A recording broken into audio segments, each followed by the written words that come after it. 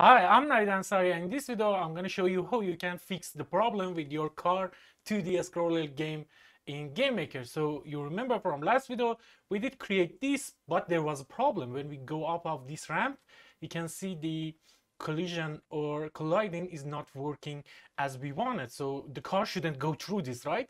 So Without any further ado, let's begin. So if you remember from last video, we did have that problem and I did promise you that I will show you how you can fix it. So let's just open the OBG car body and let's just reopen the modified collision shape. And in here, you remember we make these changes for our car and you can see it. The collision shape is like this. Let's just zoom a little bit. And you can see the collision shape is from here okay? So this much of our car body will go through everything. And it doesn't have any body or collision shape for that matter. If you want to have all of these assets and codes it's my it's in my patreon page. You can download it freely you can have all my all my codes in my videos and it helped me a lot to be a full-time youtuber. So first thing to do what we want in this car body collision shape we want this shape to be here as well right? Let's just maximize this and hit F12 to make it full screen so you can see it clearly make it a little bigger this way so we can zoom a little bit and uh, this is our collision shape and it works in our game but it's not what we want. We want this and this as well okay? So this okay? We want this and the one that we have before. Let's just run it to see if we have it like this what will happen. You can see it no longer go through our object. And this lines is for debugging. I did show you how you can enable that. So let's just get rid of all of these debugging lines for just enabling them, you should add a draw event and in there say draw itself and after that physics draw debug. But we don't want this draw at all for the OBG wheel front. We don't want that draw as well. So let's just run it again. You can see that we no longer have that problem, but there is another problem. Let me show you. If we go to our room and create OBG ground on this side like this. Let's just make it a little bit bigger. Control C, Control V, copy it to put it on this side as well. Now let's just run it to see what will happen. If we go and you can see the front of the car is going through that wall and we don't want that. In Unity, you can create a complex polygon shape for your physics collision shape okay? But in game maker you can't do that. Of course there is a way and i will show you how you can do that. And i want to say that that complex physics shape that you have in unity it's uh, it needs more cpu and ram okay? So it's not efficient. But the way that game maker does it it's too much efficient it has a lot of limitation that I will show you how you can efficiently go around them. Okay, so your game will be efficient. So the problem that we have here that our car go through walls. Some part of it, it goes through walls. So what we should do, let's just go back to our workspace in our OBG car. But if you don't have this project, you can download it from Patreon or you can uh, watch my playlist of videos about this uh, car 2D uh, scroll game physics and you can create it by your own. You don't need this, but if you want to help me, you can get it from Patreon. Okay, so what we need in here, let's just hit F12 to make it maximized. And what we need here, we need this collision shape and another collision shape for this. Okay, we need these two collisions, so we should create that. Some of you say, maybe we can create a polygon for that in in here in convex shape okay? So there is some problem with this. Let's say we want to create this polygon shape and you can see it showing the red. It is red right now right? So the problem the first limitation is that this convex shape can't be more than eight points so we can't use that the next problem, let's just go back to box and again go back to convex shape uh, because I want to remove that convex shape that we create. The next way to fix it, you may say create a convex shape for front of the car and for the back of the car separately and bond them together, okay? But there is a problem in that as well. So let me say I did create this, okay? So it, it gives us error right now. So I want to create like three shape in here and bond them together. But GameMaker doesn't have the get function for all of these. Okay, so in GameMaker you can't get these points in runtime. You can't have it. At least right now you can't have it. Okay, so the next problem, let's just again go back to convex shape. The next problem, it it doesn't allow you to create polygon like this and you can see that it is red so the shape is not convex. So the convex shape is like this this circle or there's this box. This is a convex shape. But if you want to have it like let's say like this you can't have it you can have it you can have it like this. But if you want to put a point in here you can't have that anymore. So shape is not convex. How we can fix that i want to show you how you can do that. In the box we can create two convex shape and bond them together.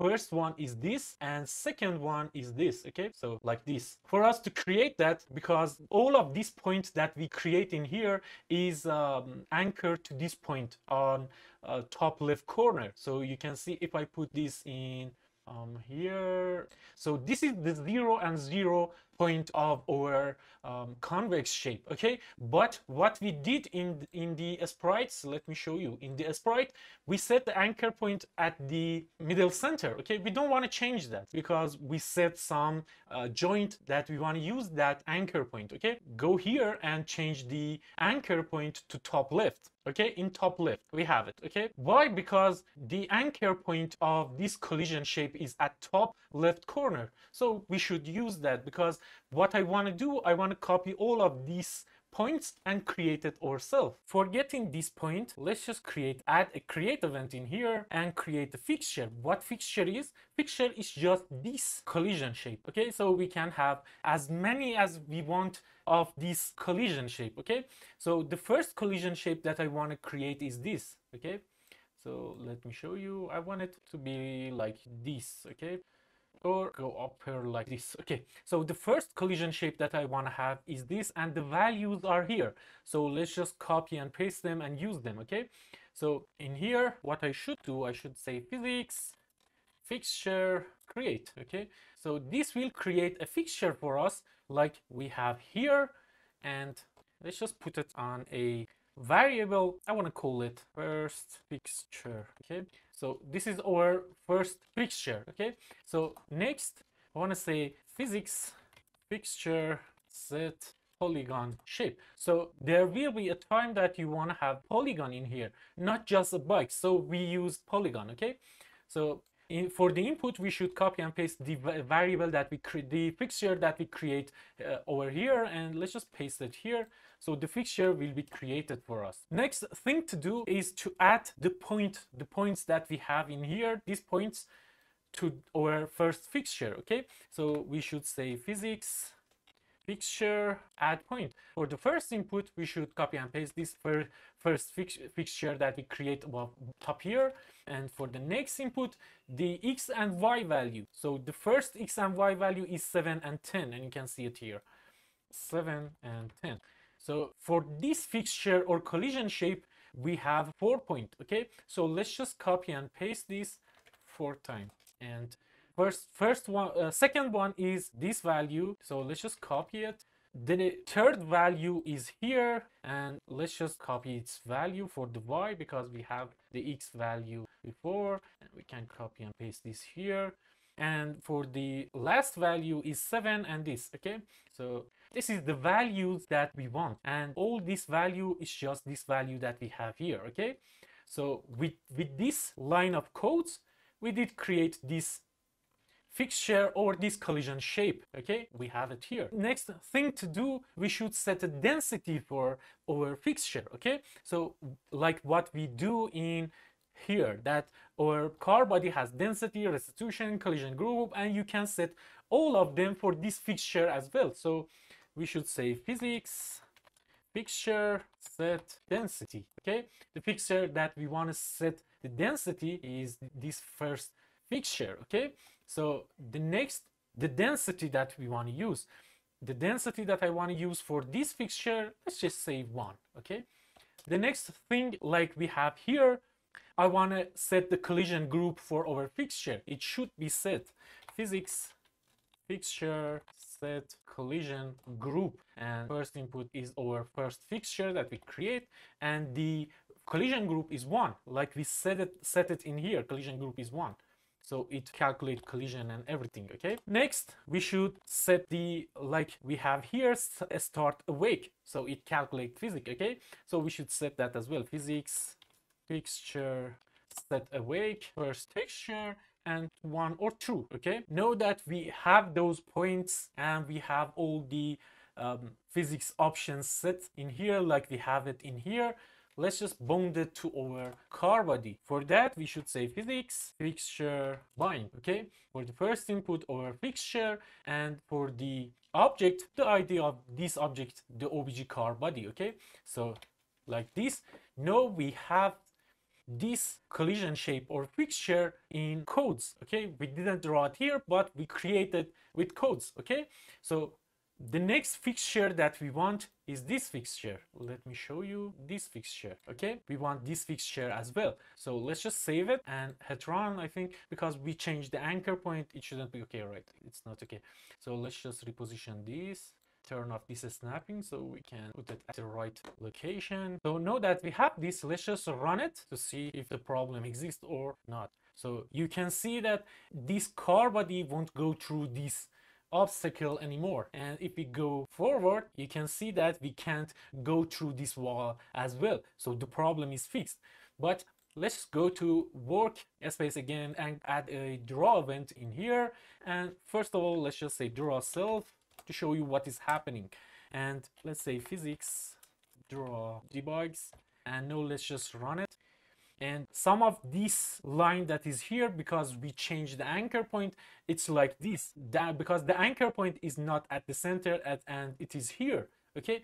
But you can see the fixture or collision shape of our car is correct now. We should um, increment this point by half of this sprite for the x and increment the y by the half so it should be at the center okay? So let's just do that. For us to fix that let's just open this spr car body and you can see the width of this car body is this. So let's just open up our calculator and in here put in the value of the width of our car body and divided by 2 and it's this. So let's just copy and copy paste this and instead of this we can say obj car body.x plus this value okay? The half of the this sprite sprite width okay? So let's just do it for for the height as well. So for that put in the value divided by 2 copy and paste this to here. And now let's just run it to see if it, if everything is working or not.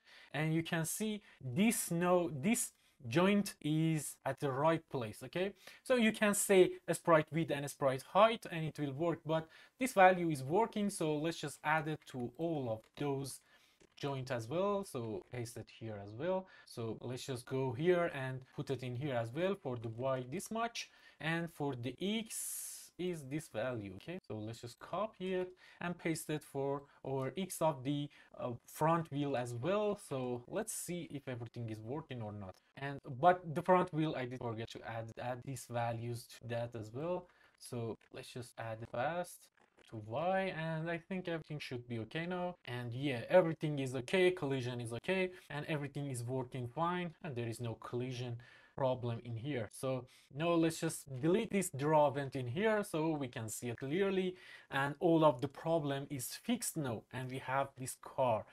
In the next video I'm, I'm going to show you how you can do it with suspension and everything. Um, this way that I that I done it you can do it for motorcycle for tank with that um, wheel that they have and for everything you can use it so in the next video I will talk about suspension in your game and this way that you done it you can you have a lot of options to play with but there is another way to do this game uh, very easily with a function of GameMaker and I want to show you how you can do that in the next video. So hope you like this video. Please if you want to help me hit the like button and subscribe to my channel. It helps me a lot. Thank you very much for watching. Bye.